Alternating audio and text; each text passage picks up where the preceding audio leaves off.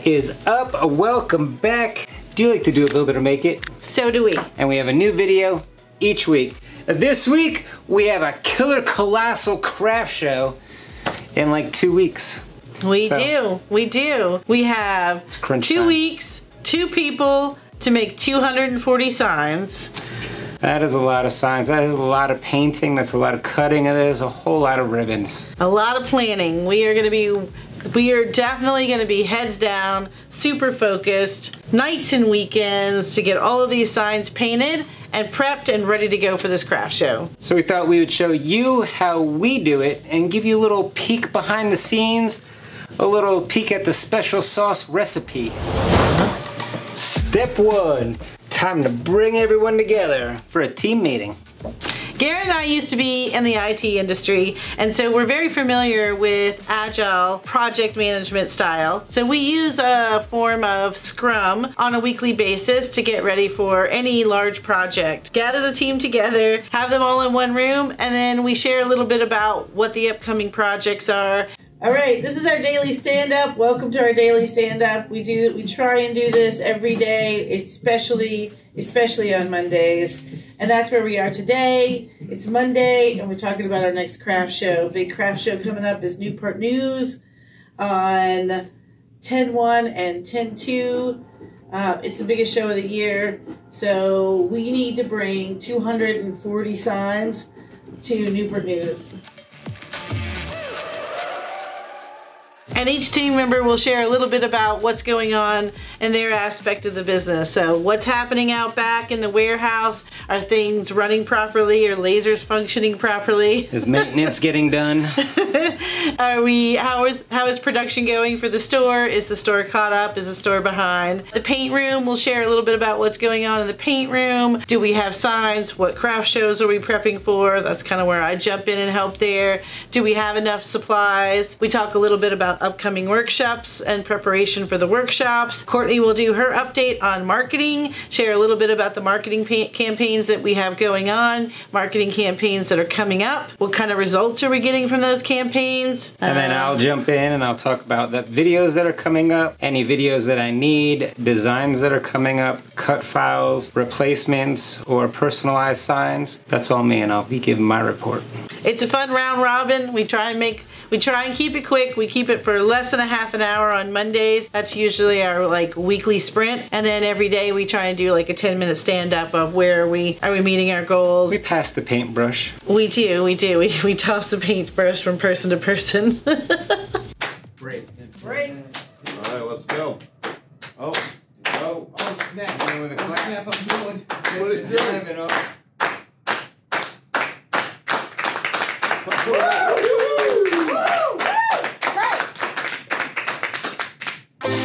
two, time to organize it. We're gonna take all of that information and all of the signs Kim says she needs, and we'll put it into that project management board.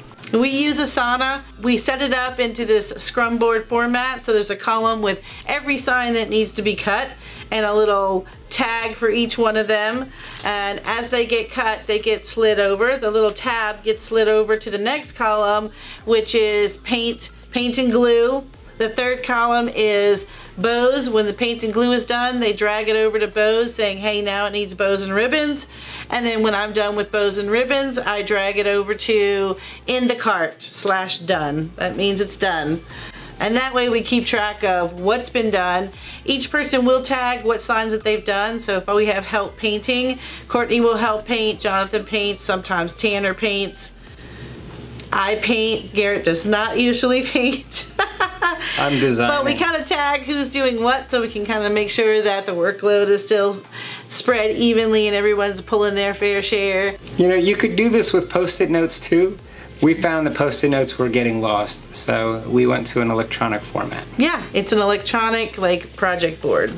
Step three, we're gonna make all of our cuts, but we're gonna do these in batches. We can fit six signs at a time in all three of our big lasers. So I like to run six of the same sign at the same time. They're all kicked off at the same time. Now, if you're using Lightburn, did you know that you're able to put your lasers on the network and then find them by IP address and send your files over the internet that way. So any of you guys that are currently using uh, Lightburn, you can network those lasers. We can send it all. One laptop can run all three lasers, and that's really, really handy. Yes. We used to have multiple laptops running multiple lasers. So I can frame it on each at the same time, watch them all get framed out, and then start them all each.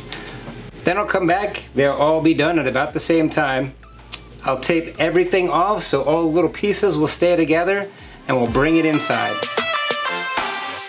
Step four, batch painting. Uh, that is where I exit stage right.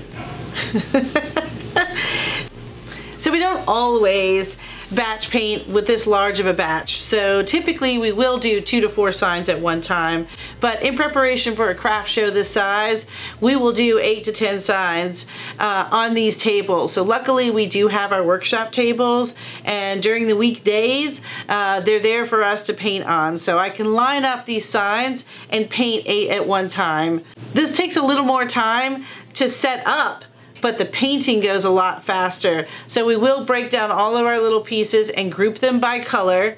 And then we'll do all the backers at one time, do the first coat on all the little pieces. We can do all eight of one color at one time and then come back and then do the second coat of backers and then you're just about ready to glue. It's really efficient to paint a large batch at one time.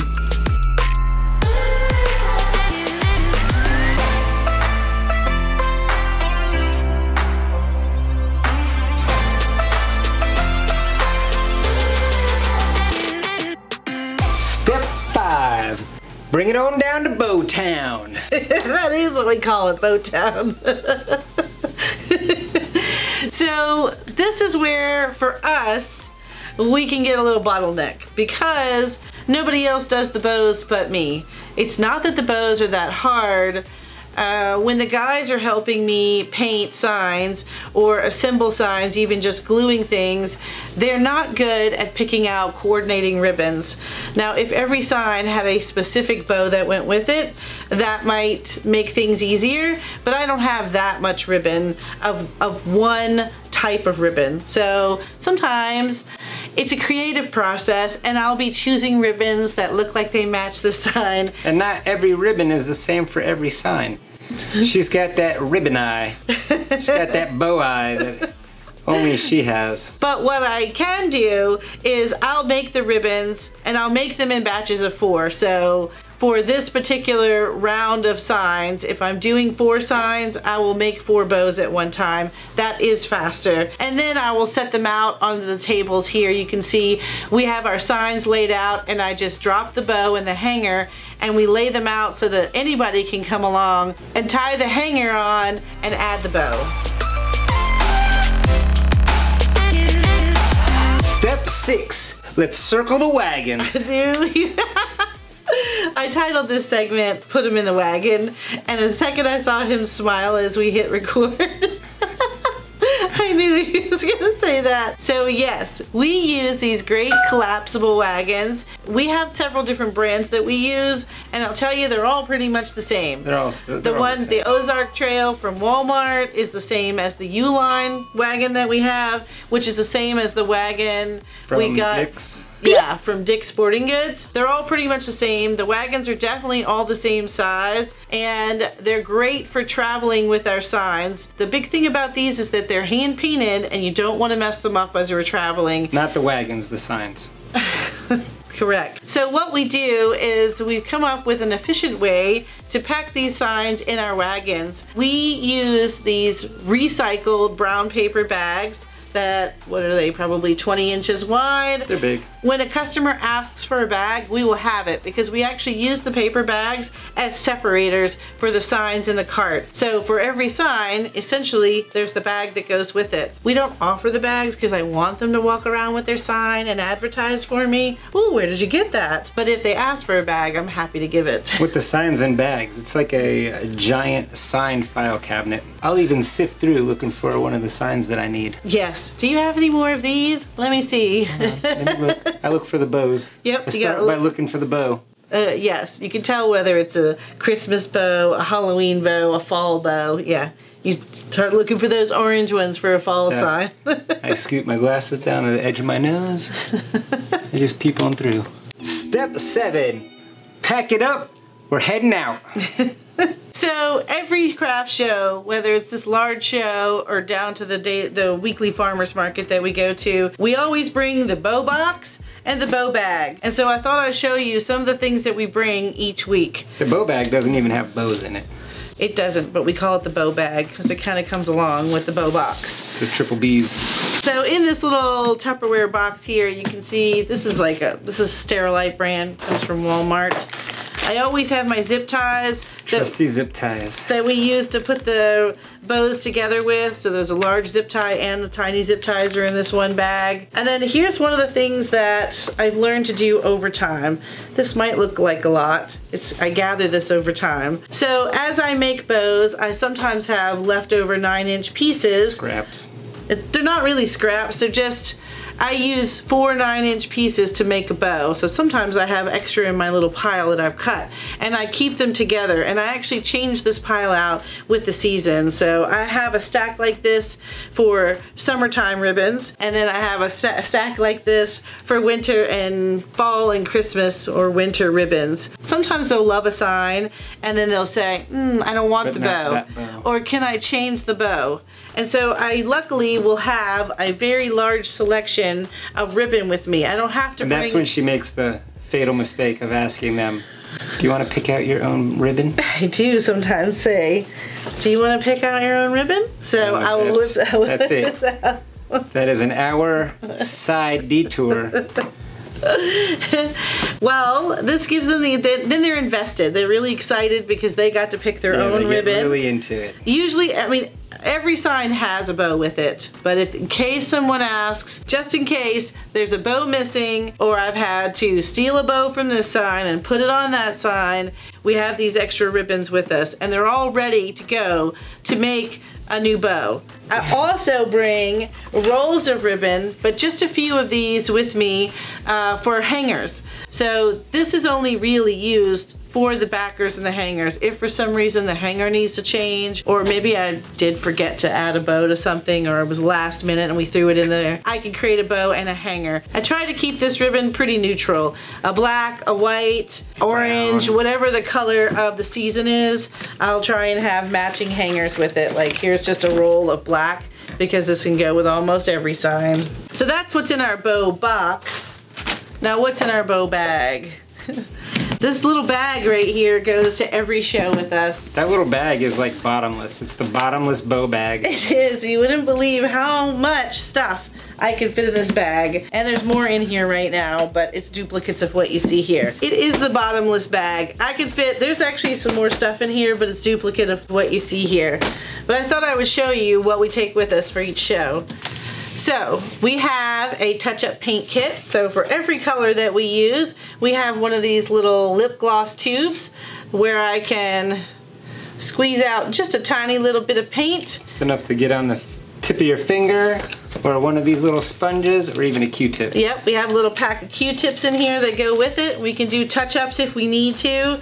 I have one of these Sharpie paint pen markers. This is what we use to clean up the edges or touch up black maybe. That's what these Sharpies are for. I also have a white paint pen, so if the backer, a white backer gets scuffed, we can clean that up with this paint pen. What is our number one favorite tool to have with us? The number one tool, magic eraser. This thing is magic. It'll clean up a sign, it'll clean up a spill, it'll take coffee off of your tablet.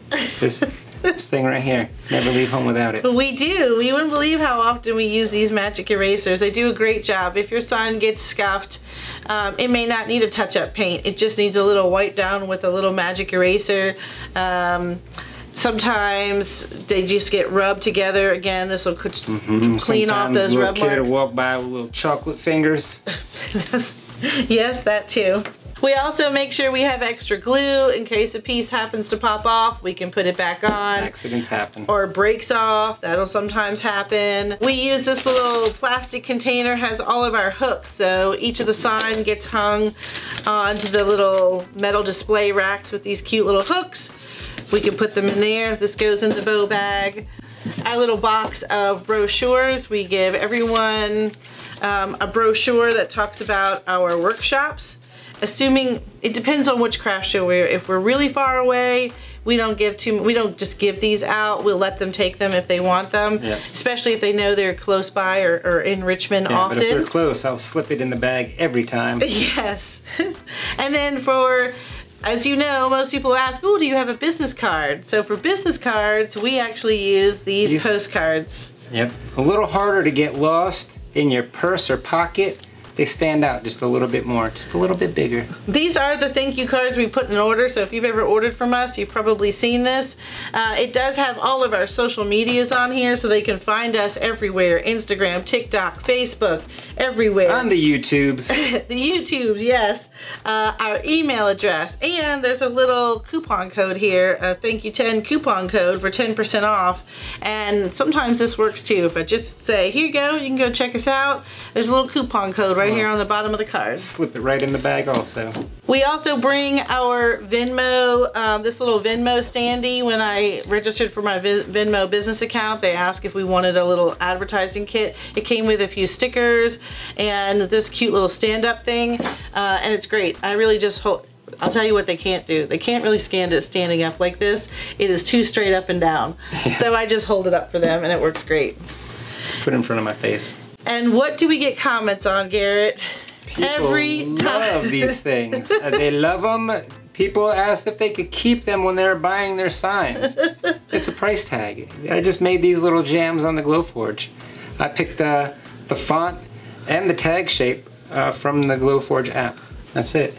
It's just uh, scored and cut with the Glowforge, and they're reusable. Eighth inch So Baltic birch. If Yeah. they don't ask, only like one person, one or two people have really said, "Oh, can I have it?" And we're like, Yeah. "Sure, you can have it sure. if you want it." But they're reusable every um, every show, so I don't have to keep buying tags. I don't have to write numbers down. They're right on there. And speaking of reusable, Yes. reusable zip ties. These are another can't live without. We use them for everything. We use them to keep the racks together. We use them to keep the tent together. Keep the racks to the tent, the Yes. flag to the tent, yes. hang our signs. We I mean, started with just regular zip ties and found we were we felt like we were wasting them and the great thing about this it works exactly the same and just as well but there's a little tab here on the side and it will release it Little thumb tab. great highly recommend Bungee cords, of course. Uh, I don't go anywhere without at least two bungee cords.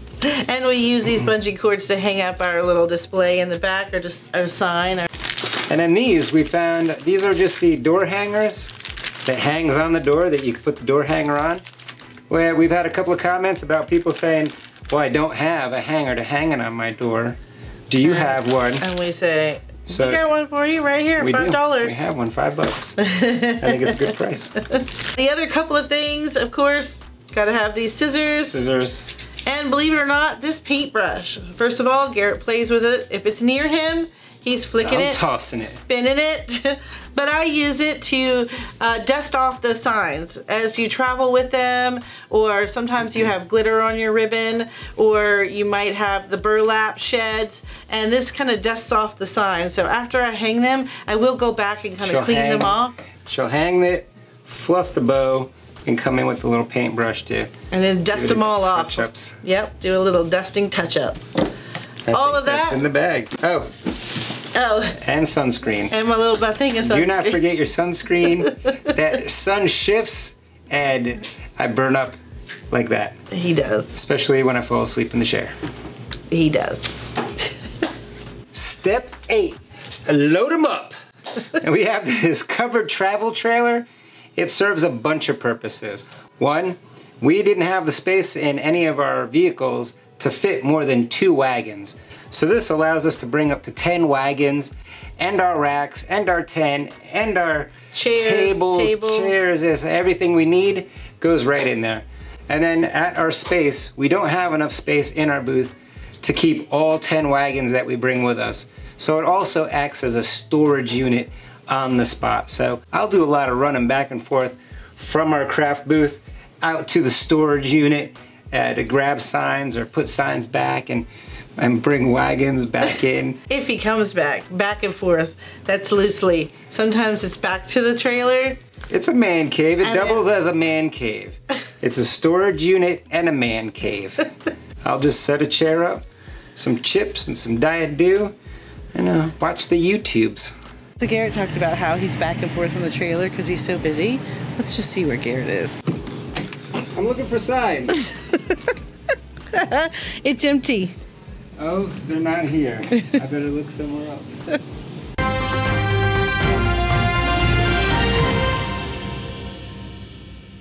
This just in. Kim and Garrett's biggest craft show of the year has just been canceled. Over to you, Kim. Due to inclement weather and approaching hurricane, the craft show has been canceled. We're gonna have to come up with a plan B. Stay tuned for more information. Now back to our regularly scheduled program. Step nine. Let's set it up. We're here. Now it's time to plant our roots and set up our booth. We start by setting up our tent. You can set this tent up with one person. It's the Easy Up tent. It gives us a true 10 by 10 and it actually covers the whole 10 by 10 space. It's great because sometimes I'll drop Kim off or she'll drop me off and we'll start the booth setup. And since we have to start with the tent first, it's great that one person can start setting this up. Next, we come back in with the 20 inch by 6 foot tall racks. Again, we told you we have them set up in pairs.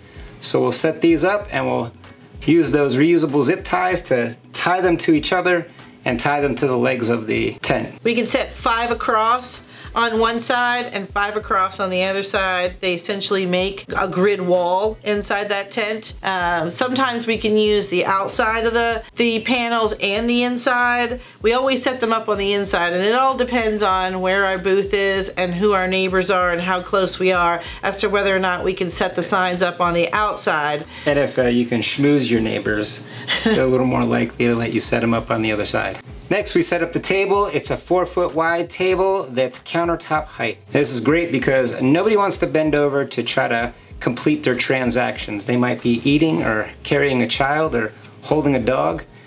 and this just makes it a little bit easier. And we use the four foot as opposed to the six foot because the six foot table is a little bit wider and longer. And in that 10 by 10 booth space, it takes up a lot of room. It gets cramped real quick. so we use the four foot table because it is a little bit smaller and gives us a little more room on the sides. And then we have this great tablecloth that Kim found. Everybody loves this tablecloth. We got it from Stack Displays.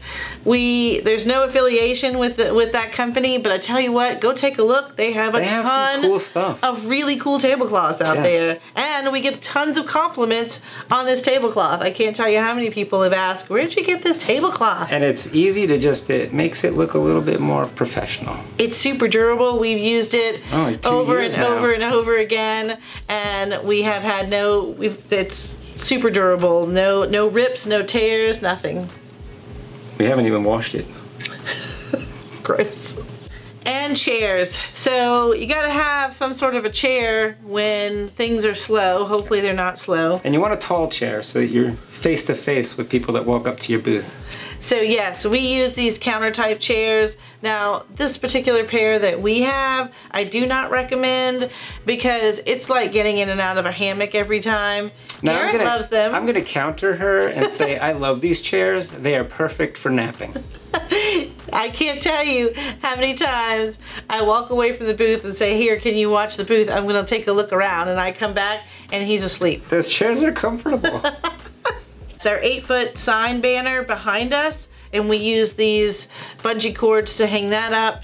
then we set the sandbags around each leg. A lot of the places will make you have sandbags and a fire extinguisher. We keep both out there in the open so that any auditors that walk by can see them. I would recommend the the nice flat like director's chairs uh, over these camp chairs, these tall camp chairs. Um, your choice. I do highly recommend She's just trying to keep you awake. that they're countertop height so you can get in and out and then we can sit in the chairs and talk to everyone pretty much at eye level when they go by and we're not down below our table. Kim yells at me for being on the phone. I have to, I have to compliment their shoes I highly recommend greet every single person that pops in or walks by. or walks by.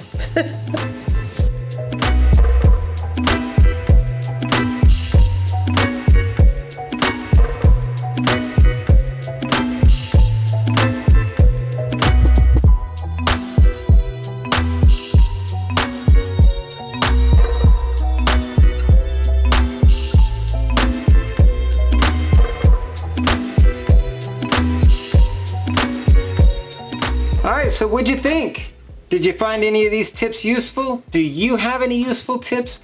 What is that super secret craft show tip that you have? Are you sitting on a good one? Leave it down below. I'd love to share it with everybody. I won't tell them it's your super secret secret trick. It's uh it's our secret. all right, well, big thanks to all of our patrons. We love you guys. Some of these tips and tricks have come from our patrons. So thank you guys. You guys helped us out with this one too. Didn't even know it. Well, we are about out of time. So if you're not going to join us for the patron after show, you should totally join us this weekend for the hurricane party because it's been rained out or winded out, hurricaned out. We're going to substitute this craft show by going live this weekend Saturday and Sunday. and we'll be able to see all your shiny little faces, or at least you'll be able to see our two shining faces. yeah, hopefully you'll chat with us. Yep. Yeah. Come chat with us, see what's up, see what we're up to, see what we're doing, tell us what you're doing.